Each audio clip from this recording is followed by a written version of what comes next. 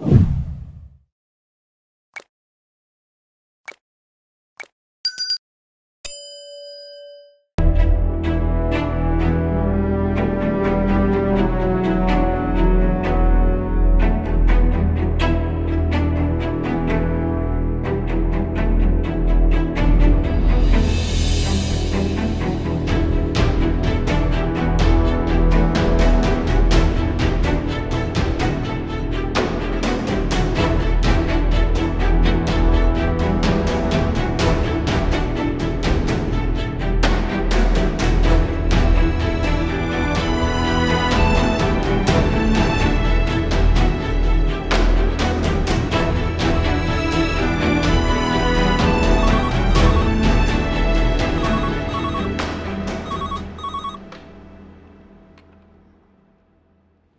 बाद में आती हूँ अभी मीटिंग में।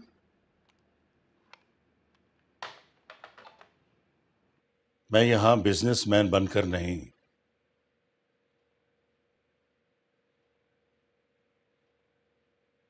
एक बाप की हैसियत से आया हूँ।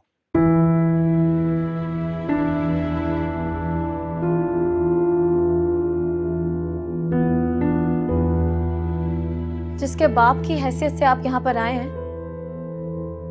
उसे बेटा कहते हुए तो आपको शर्म आनी चाहिए। बेटी तो मैं तुम्हें भी समझता था। बहुत ख्याल रखा है तुम्हारा। लेकिन तुम्हारी आँखों में शर्म और लिहाज खत्म हो गया। तुम ये भूल रही हो मापारा कि मैं तुम्हारे बाप जैसा बाप जैसे फिर तो आपको मेरे बाप की तरह गैरत से मर जाना चाहिए। मर जाना चाहिए था। ठीक कह रही हो तुम। मर जाना चाहिए था इसलिए कि मैंने तुम्हें बेटी की तरह पाला, तुम्हारा ख्याल रखा। और ये जो तुम दस्तखत करती हो ना, ये भी मैंने सिखाया है, एक बाप की तरह। बाप की तरह सिखाया सब। बार बार मेरे बाप का नाम मत लें। मेरे बाप को बाप बनने के लिए कितने मजारों और दरगाहों पर माथा टेकना पड़ा है। और आप पता नहीं कहाँ से आ गए मेरे बाप बन के?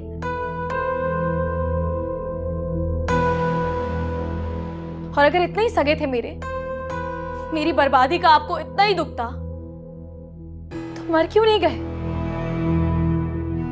जैसे मेरे अब्बा ने किया। चले जाए यहाँ से। ठीक कहता था राय। तुम जैसे ही लोग होते हैं।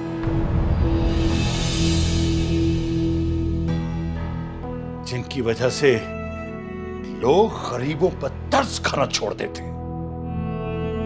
और आप जैसे लोग होते हैं आप जैसे लोग होते हैं फजल साहब जो गरीब को अपना काम ईमानदारी से करने नहीं देते। कभी ये रिश्वत देते हैं और कभी इमोशनल ब्लैकमेल करते हैं।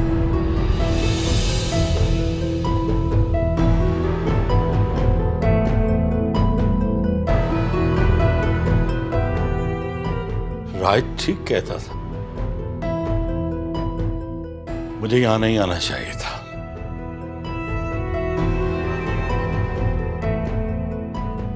लेकिन मैं तो ये समझा था कि मुझे देखकर शायद तुम्हें कोई एहसास हो।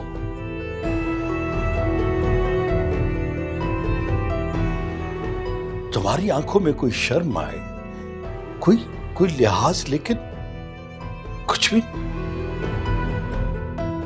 चले जाए यहाँ से। और दोबारा किसी गलतफहमी में यहाँ पर मत आइएगा। क्योंकि मेरे पास आपकी ब्लैकमेलिंग सुनने का वक्त नहीं है।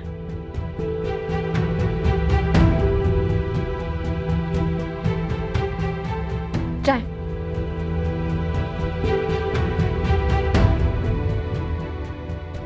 आपका ये चेक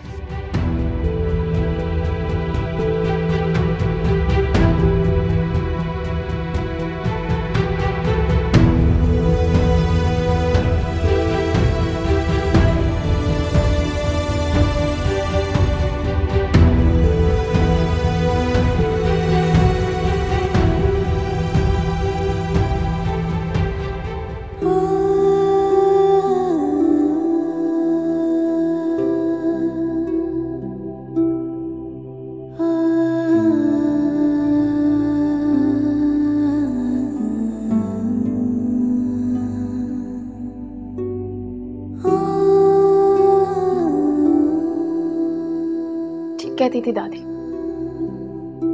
सब एक जैसे हैं।